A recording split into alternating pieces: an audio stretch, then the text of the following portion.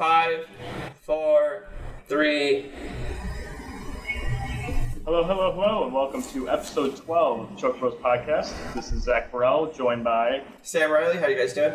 and Angel Garcia.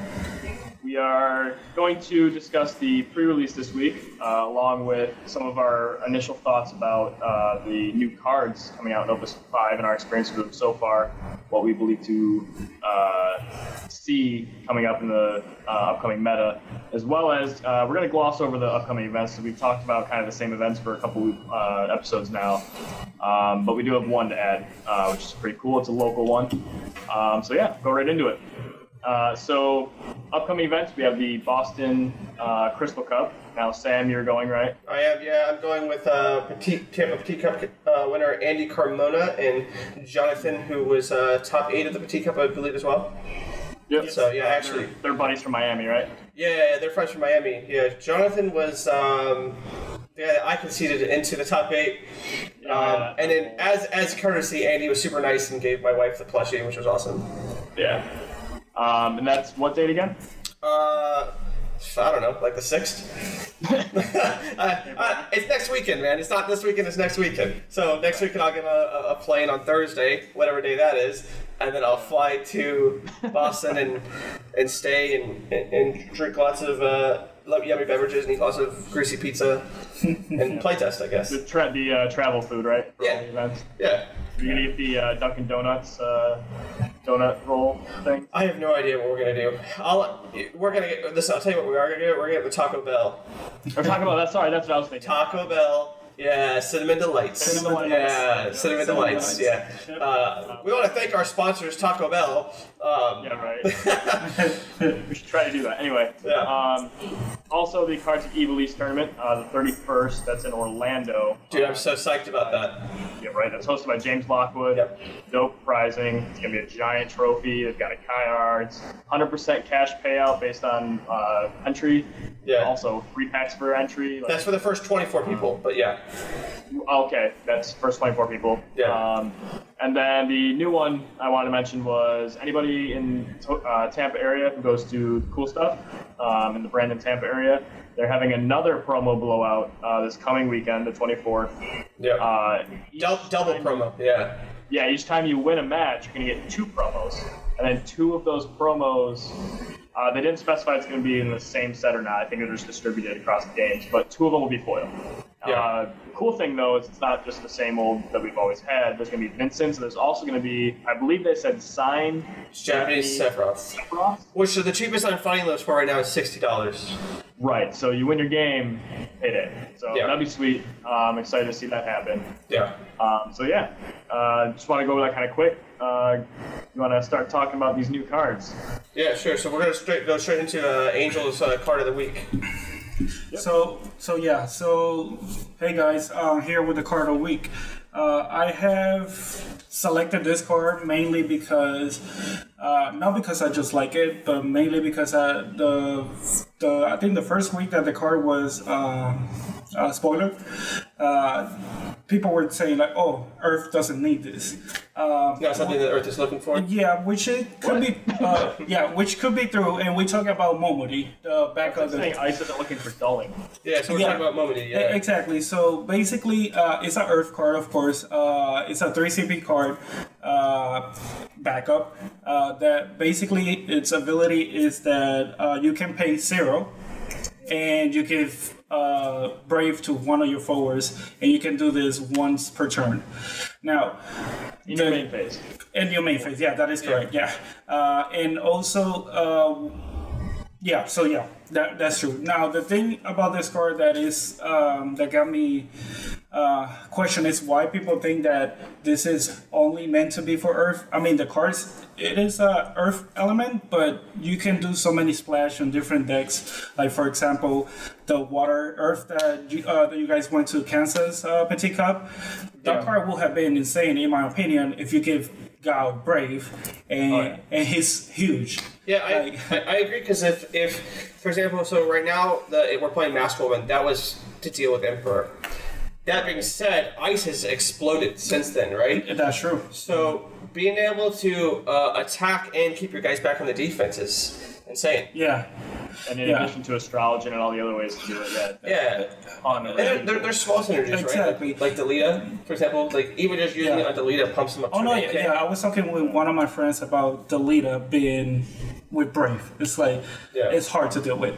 Uh, but but yeah, mainly thought about the Water Earth uh, uh, matchup because you have uh, Minwu, so it's not like you weak against uh, Lightning. Because lightning, you know, all say combo, so it's like people don't want to have like an active forward, but this on a water deck is really good. That's a good. opinion. That's a good point because so ha- giving your force brave can actually be like a, a weakness when you're playing against cards like Alcid, yeah, right? Yeah, But in this case, or yeah, this also gets around that if you have Minwu because you're, Yeah. you're playing this in a deck with Minwu. That's yeah, a good point. Yeah, and, and that's why I like this card being on not just a Earth deck, a mono Yeah. Earth. What about Mog Six? Like, isn't this like like Turn a, one, Mog 6, turn 2, play Momodi, attack, dull, draw a.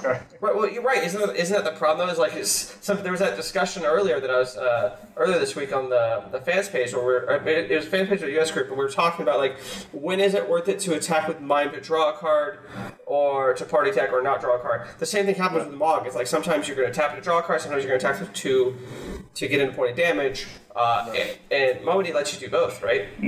Right. Yeah. Uh, Yeah. that's what I was gonna say. Is I like it in other colors to kind of you get that uh, strong sword Gilgamesh feel, you get that cloud feel, where you you're brave, and then you can use your active ability that requires dulling before the block's are declared. Uh, like Vincent with Yuffie, right? Like, what if you just give Vincent another way to stay brave when he attacks, so he can both attack and use his uh, death penalty? That's powerful. Yeah. So I haven't looked at all the abilities, but I'm sure there's a few combos in there that'd be really sweet. Especially like Gal, like you said, like if you could attack and use rage, that seems pretty good. Yeah, Gal has to be the biggest. I I guess Vincent, obviously, but Gal has to be like the biggest turn on for me for Momodi because you have how big Gal gets, and you have things like uh, the, the the the pot cat, for example.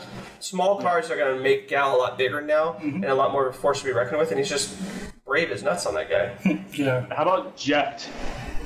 Oh, that's interesting because Jack is not played primarily because exactly like like he he's best on defense. That's why he's so big. He's best on defense. Uh, but he also has the break ability. Like he has that kind of cloud feel to him where you can just like recycle. Like there's so many new things like miner and stuff that you could recycle copies of him. That's true. Give him brave Yeah. attack, break a guy, and good luck. Yeah, yeah. I, I, I would be surprised if Momodi uh, doesn't find the same kind of niche backup like slot that Minwu does. Like, sure, certainly there are there are water decks that aren't playing Yeah, Minwu, yeah. but I, mean, mostly, you know, you're I mean, I was Momodi. yeah, I was thinking that Momodi could be actually the no-no of this set. It's three CP rare, and it could be like So it could find its way on almost. That's a good point. So, so no no gains you CP literally whenever you attack, Mm-hmm. whereas this figuratively sort of uh, does give you CP, um, and it does value. It does matter like how much.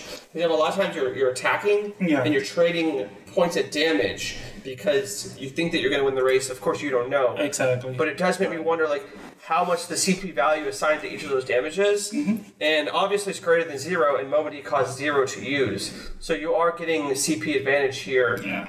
You're getting a non-zero amount of advantage. It's just for sure, for sure. It's, it's, it's how do you quantify that? How do you how do you like put that into terms of like what the CP value of, of Brave is? You know, like is Right. for example, if Guy didn't have Brave, what would the C, CP value of him be? Would he be fine as a 5K? Probably not. I mean, still fine against Ice because he's hard to get through, but you can't attack with him.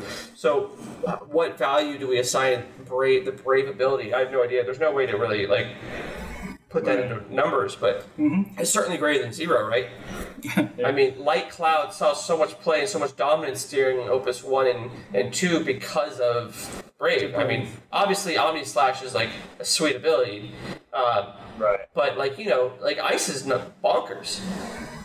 Yeah. So, like, I, Brave and active is why I love strong sword so much. Like it's such a sweet, um, like ability, no pun intended, to be able to attack and then Yeah. use your ability before blocks and still get your attack through. yeah. If you ever get catch them on the back foot, like they can't swing with two guys, or I'm sorry, they, if they have two guys, they can't swing with one. If they're like close to dead or whatever, um, because they know they're gonna lose one. It's a lot Yeah. of pressure. I really like it. Yeah. Hey Zach, real quick. Angel's phone is malfunctioning, so he's getting it set back up. Yeah. Um, Okay. but so you know that makes me wonder. So there's these these Earth Golbez decks that I tend to like. I like the I like the Golbez decks with Kefka and Shantoto. Um, that they, they play the Golbez or they come back. Does does Golbez get a lot better from Mummy? That's actually pretty. Yeah, I didn't actually think about Golbez because a lot of the weaknesses you want to swing with your giant 9K. Yeah. Or either a block to break him or. Or hold him back on defense. But you also, yeah, exactly. You want him on defense so you can block multiple things and break it. Yeah. So yeah, being able to give him Brave is And then there's the Opus Four Ramza. Um, okay.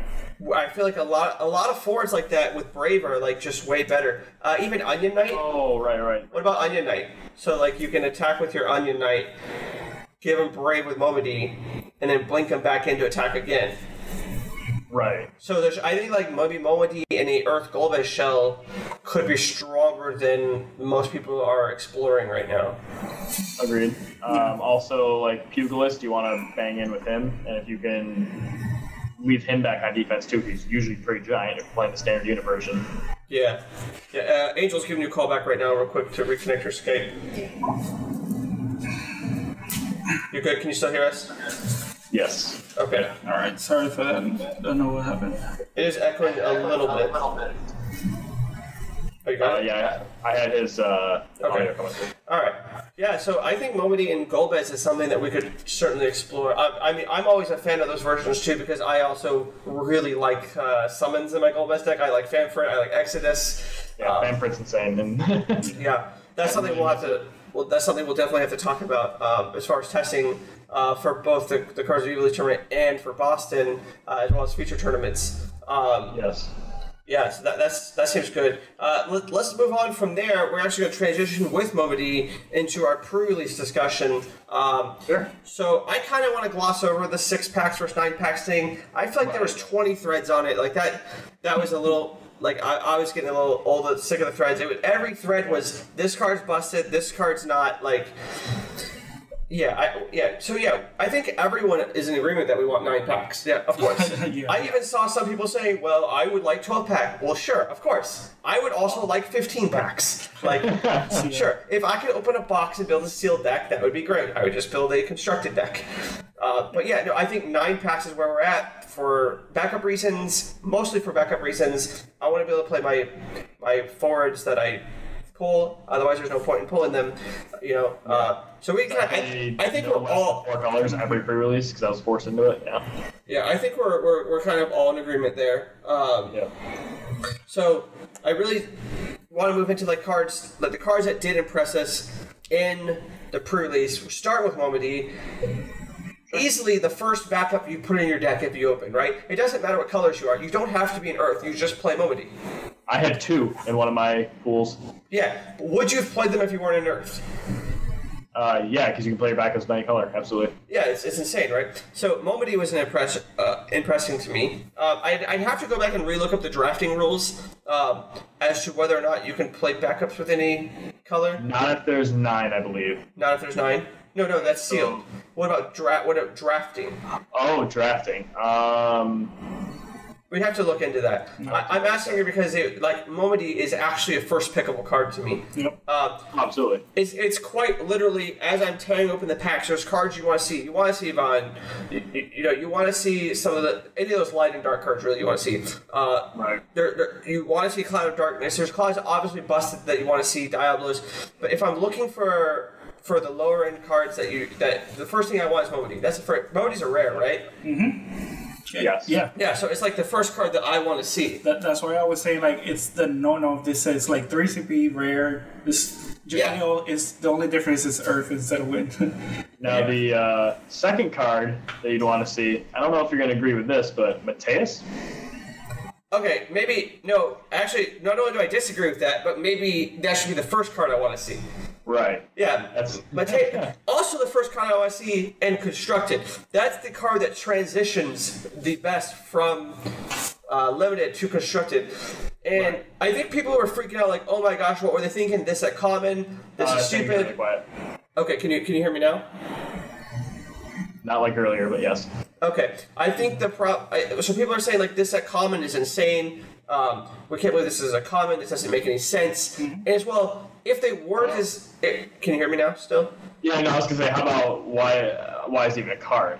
Uh, yeah, we'll get there. But so the thing is, is that if they were designing it with limited in mind, then there are just so many cards that you just can't have an answer to without removal spell. And removal is hard to come by in the set. I love Matthias at, uh, at common. Like I just, I think that's where it deserves to be. As far as constructed playable, it's certainly heroic level. Not even close. Yeah. Like a one CP card that kills anything is nuts. I mean, yeah. Yeah. So, yeah, so that would be number one or two, maybe with Momodi uh, there. A card that really impressed me, which I'm looking forward to see if it can do things, is Twilight Odin. Uh, we already have that in the form of Mecha Chocobo. Uh, I feel like those cards are similar, as in you need to be able to attack with them. One of them needs to be able to hit, the other one does not, but Right. yeah, but they if they block your, your Twilight Odin, uh, you can still kill their guy. There's there's pump effects, whereas like that doesn't work with Mecha Chocobo. If they block, your guy's dead. Uh, Yeah. the difference is is that like lightning has so many ways to set up this attack. Uh, you know, they can clear your Right. board. They clear your board. They have Cyclops. They have Amon. Amon. They have, yeah, they, they have ways to give your guys haste. Yeah. And I mean, I guess it's similar because because uh, the Chocobo gets gets like Shivas, and there's all kinds of dull effects and synergies in there. Uh, Yeah. But it, I don't know. I, I am interested to try. I know it's kind of like an Angel of Penance, which doesn't really see play, right? Um, but it has it has seen play. more setup, but yeah. Right, but it, it has seen play, particularly in the the the Windex, the Lightning Windex. So that could be interesting. Um, I would say the card that I was most disappointed with, and I'm sure that some of our listeners will disagree with me, is Orphan. Um, Okay. I feel like Orphan is a trap. Um, I would not draft it into a draft deck unless I was solidly in ice. I wouldn't splash for it, uh, and if I did, it would have to be a very aggressive deck. I think that people are overrated the the dull two things. Shiva costs two, like it doesn't have a body, but there's a huge difference between six and two, and Right. if it Especially when your cards are very limited in your hand and what colors you have and all that. Exactly, exactly. And and in sealed, you're never gonna have the five ice characters. Like I don't want to say never, but like I I did three pre-releases. I know you guys both did three pre-releases. Yep. I don't think at any point any of us could have drafted among all of our pools Never. a deck with five ice characters. bringing to the board. Especially with only five packs to open. six. I mean, six packs. Yeah, yeah. sorry. But no, it's just Yeah. it's just not going to happen. No. That being said, I, I I'm not taking away from Orphan and Constructed. I think Orphan's probably insane. Um, And like a mono ice or very heavy. And in mono ice, uh, an ice splashing fire, ice splashing water, and maybe ice splashing earth. Yeah.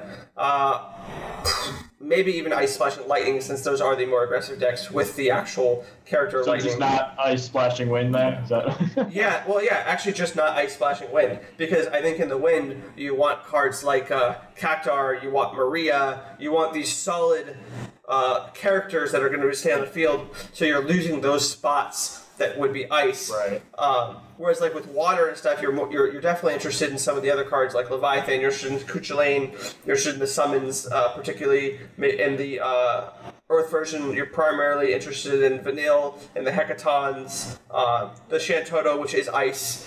Um, so yeah, basically the wind is like what I think harms it. The fire decks can just get away with just the Sage backup or the Red Mage backup solely because it wants to give their guys haste or make it not blockable, but they're mostly focused on their their ice cards, their Jillibots, and, and tapping and doling and, and just getting them those points of damage. Uh, I guess uh, Josh Freeman Birch's deck is a, is kind of a, exempt for that because he does play a lot more fire forwards like Firion and VVs. Um, so maybe even in his deck, you're not going to want Orphan because you're not going to get off that freeze effect. Uh, but maybe doling two guys and putting a body in the field is better in decks where you can give it haste, like lightning, where you get the red mage that gives you guys haste. So doling the two guys, freeze one. getting a body and attacking and and freezing when it attacks. But mostly, I'm just thinking like if you get the body and you're doling two things, the attack needs to happen. Like that's what makes it significant. Yeah. It, it's good that you can attack with a couple guys and then have Orphan back to block, but even in the mirror match, like that's that's where you're going to lose the game because they're just going to Shiva your guy or Jinx your guy and end the game on the spot. Yeah. Whereas, like, yes, if you attack with the Orphan by giving a haste with either Belias, Goblin, or if you're in Lightning, Red Mage, then at the very least, you're freezing the guy also, which I think is is, is a huge change. Yeah. But so much CP and resources for that, that thing. Right, it's six it's So, six drop. right? Plus, yeah, six drop plus making it gain haste is more CP. I, I agree, unless unless we're talking Goblin, which you've played prior. Oh, yeah, true. Belias at least replaces itself, but yeah, Yeah. Red Mage certainly is CP intensive, but you're ending the game hopefully. Yeah, hopefully. Yeah, right, right. But Goblin you've also played earlier, so you you know you're gonna get the value for it, and it's only one CP. It's, it's quite different than Belias. It's Yeah. yeah, in that instance, it's it's a lot better than Belias. Many more instances where Belias is much better than Goblin, obviously. Yeah. Yeah. So what other? So I know you played Vaughn. Uh, how do you how, how do you see it transitioning? So Vaughn. it wasn't just good; it was extremely good for you, right? Uh, if I resolved Vaughn early and they didn't have Ilnarsh, I probably won that game. Yeah, guilty. Uh, yeah, Ilnarsh was the one thing that walled me off because whoever was playing Ilnarsh also played five ways to activate him. yeah, I, I also was able to wall you off with Palin Yes, because yeah, 'Cause- move it. 'cause and I dealing- never got to combine because dealing AK to it's pretty sweet. yes. Yeah. Um, By the way, that was insane. Yeah. What? I was like, by the way, that is a card that also impressed me. Palin. Oh, yeah, yeah. Yeah, I felt like that card just. Yeah, I, I just didn't think that card was going to be that good, but like playing it. Because, I mean, I, I forgot that you can actually deal AK with it. You play it, dole 2, Yeah. and dole it, and deal an right. extra 1k, yeah. Yep. And now the funny, this man over here also pulled Botanist in a sealed pool and got to use Botanist to get his Palom back.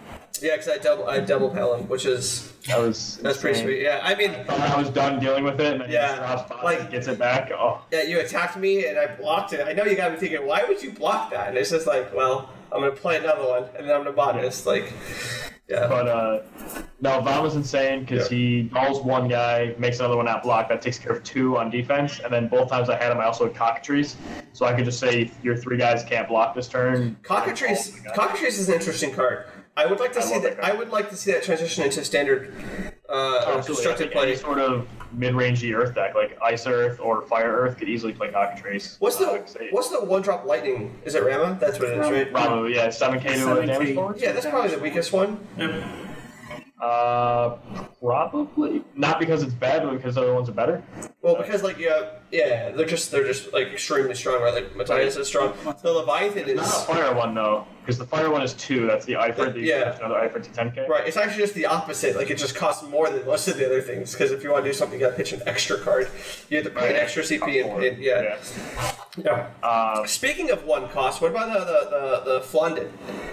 Uh, was sweet. Yeah, I liked it quite a bit. Super taxed. Like if, if they don't play backups really quick, if they try to be aggressive or anything, you can start just ripping their hand apart because they pitch a card to attack or block. Yeah, I wasn't sold on it being like bonkers, where some people thought it was bonkers, but like it it like if I play if I had it my sealed, I was considering playing it every time, but it wasn't like an auto include. Yeah. Like I had two in one of mine, that felt pretty good. Right, right, and, and I think that uh, the more you get, the better, not just because of consistency and drive, because they're also just decent in multiples. Um, Yeah. You know, obviously you can do it twice in the same form, making them pay two, but there's also like making them pay for each one so that they're they're double attacks or you know better. And, and there's reasons to do that too. If you plan on counterattacking, uh, then they have to consider whether or not they want to be able to block Right. um, which is sweet. I love I love how both Cockatrice and that card are versatile on the attack and the defense. right. Right. Like yeah. whereas at least they give at least the at least the ice card doesn't really do much on the on the defense, which is I guess fine because ice doesn't want to play defense anyway, right? Like Yeah. the, the only card that ice has that's good at defense right now is Sensor. Mind you, it's very good, Hmm. but Yeah. it is the ice card that is good on defense. Yeah. Were, were there any other cards that you thought were really good? I liked Black Knight. I liked Bonk, uh, Bunker. Vermilion? What was it? What is it Vermilion, the fire drop type Oh, of the fire? Oh. Well, like I was talking. I was mostly talking about uh, Uh, limited cards, but sure, that card's nuts. I would say I've got one for limited if you want to talk about. Sure, yeah, yeah. Well, Vermilion so is, is, is the five drop guy that just keeps on attacking. And this so this is this actually happened. Uh, I attacked, my opponent blocked. His guy died. I untapped my guy with a little sound effect that I made, and then I attacked again. And he looked up at me. He said, "Wait, what? Oh no. How many times do you get to do that?" Now he's at five points of damage. Okay, yeah, yeah. So I said, "Until you concede." Yep, that is what you said. I was right next to you. Yep. How many times do you do that? Until you concede. Yeah. Uh, and he didn't concede. He just blocked with all of his guys, and then I attacked him and killed him. Yeah. So I guess he proved me wrong. uh, but yeah, so it was it was like super interesting uh, that card. So be, besides just being a limited all star, the card's obviously constructed playable. Yeah. If fire got a card, that's what it got. I have no Right. doubt that it is the best fire card in the set. Uh, I don't think that is close. Yeah. I the, the fire backup is really pretty good. sweet. That goes and gets a summon and blows up and Armageddon's yourself to kill other guys. And Armageddon's yourself to Wrath of God them. Uh, Yes. so blows up all your blows up all your backups, destroys all their forwards. Uh, that card's pretty sweet. I don't know if it's the uh, constructed play or not. Uh, certainly didn't see limited play. Someone will try it. Yeah. It's just a matter of if it's. it will win games. Will it win tournaments? I don't know. Right. I'm, I'm leaning towards no. Uh, So I think my favorite constructed, it's actually a two-card combo, but primarily the one card is miner. okay. Uh, the four CP Earth backup that when it enters the field, you get to take a backup uh, from your break zone, add it to your hand. No, just all has to be is backup. So essentially, it's two CP, assuming you can pitch one to put, play it on turn one, or later you just get one back. yeah. Uh, but more importantly, it is a standard unit, and you can pay an Earth and one Dullet sacrifice, get any forward back from your break zone. Yeah. Now, if you combine this with the ice card Conjurer, Yep. which gets back a standard unit from your break zone, no, Yep. doesn't care if it's forward, back, or whatever, it makes this little loop. Uh, so, like in my my first uh, pre-release, Vaughn was like all I got. Well, yeah. so I was able to play Vaughn, and if they ever answered him, I just cracked Miner, got him back, played Conjurer, got back Miner, replayed Miner to get back a backup, and then I just had a full hand again, had Vaughn back, replayed him, and they had to deal with him again. Yeah. It was well, a super good uh, strategy. play, playing that with um, with uh, the the two CP wind backup that bounces your own character to draw a card.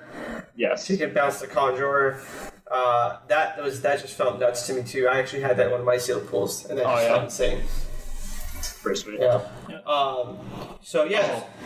And, and then the com- I think this would be the community pick, right? We've seen everybody talk about this. Also in Earth, Master Monk. Oh, okay. Oh, yeah. Well, yeah. Master Monk. I, I had three in one of my sealed pools. I had two in another one. So did I, yeah. Yeah, I just, I just, the Master Monk was insane. I had so many ways, especially with Ravager. Oh my Uh, god.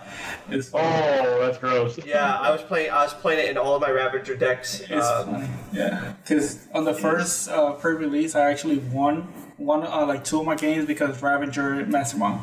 yeah, It's like doing so much damage. yeah, it's just, yeah, those are two like insane combos. 8K you're active, dude. Yeah. So so what we're gonna do is we're gonna close out this podcast uh, with with Zach's uh, with Zach's tidbit. But before we do that, I do want to just say uh, next week's podcast we are gonna open a case of Final Fantasy. Um, it's gonna be super excited. Of Opus Five.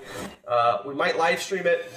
But either way, we'll open a case. If you want to know what we think about individual cards, that's gonna be a much longer podcast. Yeah, Uh, probably gonna talk about what commons the first time, the first like couple times we see him, and then we'll just probably skip commons and rares and go right to the foils for. Right. So I, I think we will we'll have something for everyone. We're gonna we'll start with the commons. We'll talk about what we want to see for drafting, what we want to see for opening the sealed, and then obviously we'll, we're, we're going to talk a lot more about the heroics, the rares, and the the, the legendaries um, and the foils. Um, so we're going to do that. We'll probably do that. We'll probably do that live. Either way, we'll be opening the case. That'll be next week. So that's super exciting.